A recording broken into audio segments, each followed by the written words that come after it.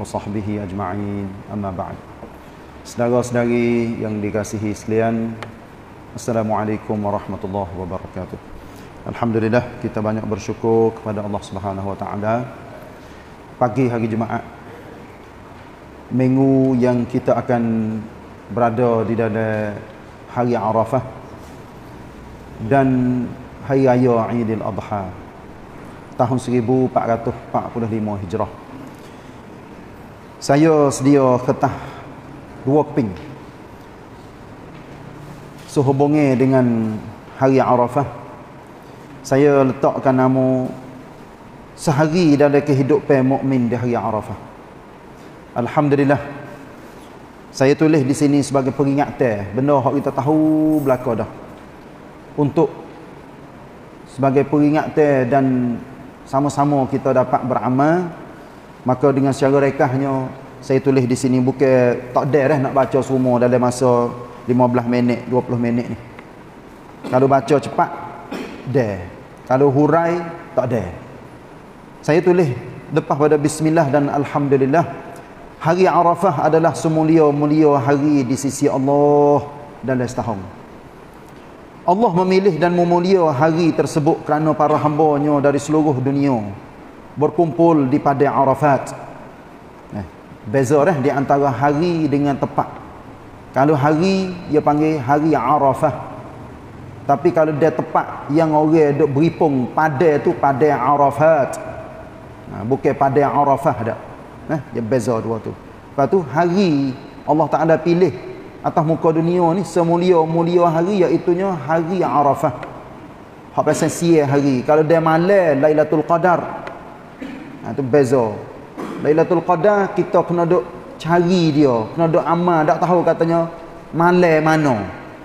Tapi kalau dia hari Arafah cerak-cerak dah. Orang wukuf di Arafah, maka itulah harinya. Nah, tu beza di pada Arafat mengerja ibadat haji dengan penuh harapan semoga diterima dan mendapat haji mabrur. Inilah hari ni hari Jumaat. Orang pakak duyu-duyu mula hari ni. Dia panggil hari tarwiyah. Yang orang pakak mula buat haji hari ni. Manakala hamba-hambanya yang tidak mengerja ibadat haji di semua tempat disunatkan mengerja amal soleh dengan uh, dalam berbagai bentuk semoga amalan itu diterima dan diberkati sepanjang hayat. Bagaimanakah kehidupan seorang mukmin di hari Arafah supaya mendapat pahala, berkat dan berlipat ganda ganjarannya? Sila ikuti perkara berikut ini. Ni saya nak enam dia panggil. Nah. Semua kalau dia siapa nak tambah lagi puasa nak jadi sempurna maka lebih molek. Nah. Yang pertama sekali niat berpuasa hari Arafah serta makan sahur maka suhur dan mengambil peluang itu berqiyamul lail dengan solat tahajud solat witir sekadar mampu. Tilawah al-Quran selawat ke atas Nabi sallallahu alaihi wasallam istighfar doa dan menyesal. Ni satu peluang yang kita bangun maka sahur. Nah. yang kedua pergi ke masjid awal waktu. Ada boleh tak? Lepas tu pergi bear orang-orang jatuh dah siapa-siapa tak biasa bear teragi bear sekali di masjid. Nah. atau menjawab azan. Solat sunat tahiyatul masjid dan solat sunat subuh dengan penuh khusyuk. Siapa nak semaya sunat subuh di rumah pun tak ada gapo, tapi ni adalah saya tulis nak jadi tertib dia. Yang ketiga berusaha mendapat saf yang pertama atau saf yang berhampir imam. Sempat dengan takbiratul ihram imam serta khusyuk dalam mengerja solat sampai tamat. Nah, usaha jadi kita boleh berapa? Sah yang pertama pahala banyak. Rapat dengan imam tu memang kau lebih lagi. Nah, khusyuk semaya kita. Lepas tu wirid selepas solat. Zikir dan doa. Kerana Nabi SAW bersabda, Khairul doa, doa yawmi arafah. Sebaik-baik doa ialah doa pada hari arafah. Ini ha, dengan cara apa hadis Nabi yang sahih, maka kita pakai amal lah. Ikut kita nak doa gapo, nak zikir gapo, hak hak asalkan datang daripada Nabi wasallam adalah molekna bagi kita nak kita berdoa dan kita zikir. Dan zikir umum seperti berikut. Saya tulis nak jadi ada nampak katanya zikir dengan secara umum kita nak sore zikir pun kau lebih molek dah iaitu subhanallah wa bihamdih yang kedua subhanallah wa bihamdih subhanallah al-azim yang ketiga subhanallah walhamdulillah wa la ilaha illallah wallahu akbar yang keempat la ilaha illallah wa subhanallah walhamdulillah wallahu akbar wa la hawla wa la quwata illa billah. Yang kelima la ilaha illallah wahdahu la syarika lah. Lahul mulku wa lahul hamdu wa huwa ala kulli syai'in qadir. Yang keenam subhanallah wa bihamdih astaghfirullah wa atubu ilaih.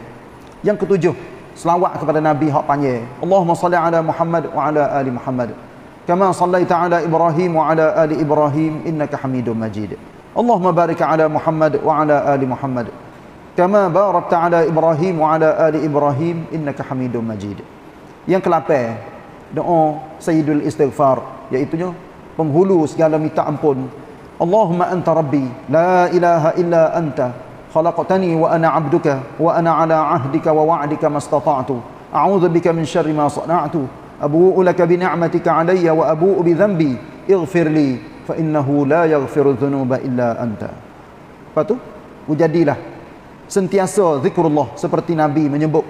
Nabi royak katanya la yazalu lisanuka ratban min zikrillah. Sentiasa lidahmu basah dengan berzikir kepada Allah Subhanahu Wa Taala. Ini cok-cong hari Arafah tu jadi kita banyak masa kita dengan perkara-perkara yang berfaedah dan perkara yang menimbulkan pahala. Yang kelima saya ulas sekali lagi dak saat ni royak dah iaitu baca Quran. Nah, atas tu saya tulis tilawah Al-Quran. Hak ni baca Al-Quran hak tulah ya. Baca hadis Nabi SAW atau berada di dalam majlis pengajian di masjid sehingga terbit matahari. Ha ni bagi orang-orang hak semaya subuh di masjid di pagi hari Arafah kalau boleh kalau tak gaduh dengan hijau. Hak penting-penting sangat. Lepas ada semaya subuh siapa ke? Naik matahari. Kita duduk dalam masjid. Ambil apa? Ambil fadilah kelebihan yang Nabi ada sebut katanya siapa yang duduk dalam masjid tepat semaya siapa ke terbit matahari sehingga dia semaya dua rakaat. Maksudnya semaya duha lah. Maka orang tu dia akan boleh supaya ngapa pahala orang mengerja ibadat umrah sempurna sempurna sempurna. Ha ni tengok. Ni kelebihan bagi orang yang zikir duduk dalam masjid. Apatah lagi kita kalau sekiranya lepas dah semaya subuh kita ada halakah baca Quran zikir dan sebagainya. Nah kemudian solat duha setelah sampai masanya. Yang kena bekerja dengan penuh amanah. Tak ada kira lah hijau gapo-gapo asal kau molek sudah.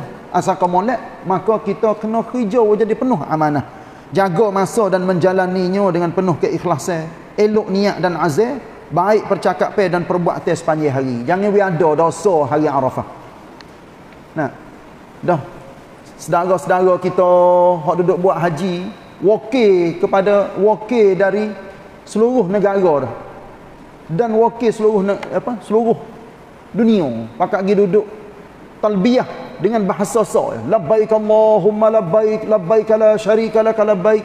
Maka kita duduk di tempat teh masing-masing ni kita wujadilah kita bertakbir.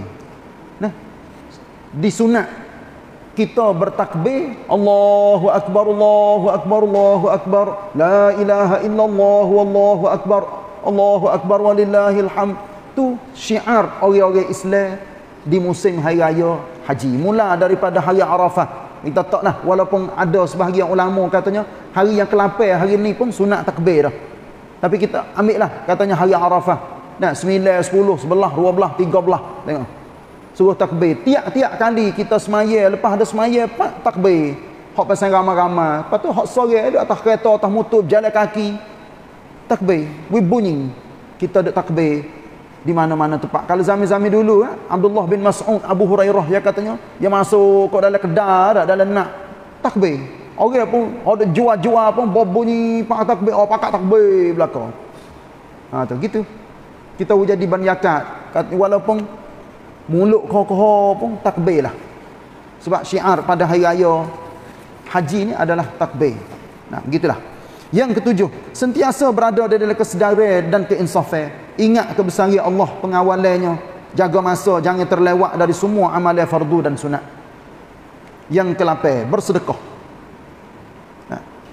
Saya rasanya hari Arafah ni orang pakai buka puasa ramai-ramai sama ada di masjid ataupun di rumah adalah tak saya tulis di sini bersedekah sama ada wang atau makan ni memberi sumbangan untuk orang berbuka puasa atau menjemput orang berbuka puasa di masjid ataupun di rumah ha, kita pun ada duit kita sikit sebanyak kalau dia orang rakyat katanya ini tong ataupun hapas jadah ni untuk pungut duit berbuka puasa di masjid di hari Arafah. Kita pun we ada sikit sebanyak dah 20 kok ke 100 ke 1000 ikutlah. Nah we jadi misa saya misa katanya orang makan uh, sekali buka puasa ni beras berapa kilo. Ha bismillah. Ha, kita sanggup beras kita kita wi. Ha misal air kita go tu hak kita, gani hak kita, kita pakai pakai we ada saham sikit sebanyak. Nah. Yang kesembilan bersih hati dan perasaan. Lemah lembut, senyum, memberi sadar, menanya khabar, tolong menolong, buang semua sifat keji dan perangai yang buruk. Pada ayat sana ni, hari Arafah we jadi cuci bersih sungguh. Zahir dan batin. Jangan we ada walaupun sikit. Apa pasal tak tak tak molek. Ha tu. Pada hari tu sehari. Yang ke-10, mencari peluang masa tempat yang paling elok supaya dapat mengerja amalan soleh dan mendapat pahala ganjaran yang berlipat ganda balasannya. Ha, tu ada saya tulis sampai sembilan. Saya nak saya nak kam lah sebab masa tak ada baca, baca sendirilah. Orang ada ketah. Yang ke sebelah berbuka puasa dengan buah tamar dan air biasa. Ha ni susah kan ni. Ya galiknya kita buka puasa dengan dengan benda lainnya. Dengan manis tu manis ni. Nak buat lagu mana? Nak uji perenyik perasaan kita tu. Buka puasa air dengan buah tamar. Sekat tu. Lepas tu kita semaya. Bawa lepas ada semaya nak makan bubur, nak makan cacor, makan nasi makan buah kayu gotu gani ikut lautan tapi buka puasa tu dah kita berok mari 14 jam eh mula daripada pukul 4.30 lah kita tak walaupun subuh adalah 4.30 lebih-lebih sikit tapi kita taknya 4.30 sampai ni setengah teh tengok 4.30 subuh sampai ni setengah teh masuk malam. 14 jam kita puasa. Tapi bagi buka puasa dengan benda lain jadi dengan tak tak molek di situ. Walaupun tak ada haram tak ada dosa. Tapi marilah kita jadi buka buka puasa tu we kena dengan ajaran nabi dah. Lepas tu solat maghrib solat sunat rawatib kemudian makan makan malam secara jama'i di masjid ataupun di rumah. Lepas tu yang ke-12 takbir selepas solat lima waktu sampai akhir hari tasyrik. Hari tasyrik ni iaitu nah, lepas pada hari raya kalau hari arafah tu hari 9 hari raya tu dia panggil yaumun nahrin Yaumun Nahrin hari yang orang sembelih. Lepas ada tu ayamut tasyrik, iaitu hari tasyrik ni artinya jemur, jemur daging. Zaman-zaman dulu ya tak ada tisjuk, tak ada gapo. Nah, orang bawa sembelih, pak ya lapah, lapah, lapah, lapah, ya ya ya, ya jemur. Tu dia panggil tasyrik. Iaitu jemur, jemur daging hak hak gerbel. Ha begitulah. Sebab tu masih lagi kekal namanya ayamut tasyrik hari tasyrik dah. Walaupun ada nama tasyrik maksud lain. Dan sampai ke 13 Zulhijjah kita takbir. Selepas masa dan tempat setiap masa dan tempat apabila berpeluang yang sesuai dengannya. Yang ke-13 menyambut hari raya Aidil Adha dengan penuh syukur dan gembira serta mengirak kasih sayang di antara keluarga dan sanak saudara yang ke-14 yakin bahawa Allah telah mengampun semua dosa sebelum ini dan akan memimpin hidup kita ke jalan mulia serta hidupkan amal soleh sepanjang hayat. Itu dan sekadar masa yang ada ada lagi yang ke-15 satu hadis. Lepas tu baca sendiri dah. Gapo ada dalam kertas ni. Saya pentingnya iaitu marilah kita pakai amal, pakai menjadi bersih hati kita dan kita mendapat ganjaran pahala dan ampun dosa. Sebab orang yang puasa satu hari, hari Arafah Nabi katanya yukaffiru sanatal madiyah wal baqiyah. Hukuk buai semua dosa-dosa kecil dia hak tahun lepas dan hak lagi akan datang. Lagi akan datang kita tak tahu katanya kita nak buat gapo kata masa depan. Tapi janji Allah dalam hadis ni katanya dia nak ampun dosa. Maknanya dia nak bimbing, nak piping kita ikut jalan molek. Maka nah insya-Allah kita jangan lupa satu hari kalau lah orang tak besok puasa ya, di awal bulan Zulhijjah nak minta juga-juga puasalah satu hari di hari Arafah Ha, tu sekiranya sup lah tu. Jangan tak jangan tak puasa. Kalau dia boleh, dia boleh puasa tapi tak puasa juga. Oh, hak tu lepas peluang betul-betul tu. Nak peluang ke emas geli geligo mah belia dah tu. Hari Arafah kalau sekiranya kita betul-betul kita lepas peluang maka rugilah dalam hidup kita. Nah, sekadar itulah wallahu alam wa sallallahu ala nabiyyina Muhammad wa ala alihi wa sahbihi wasallam. Wassalamualaikum warahmatullahi wabarakatuh.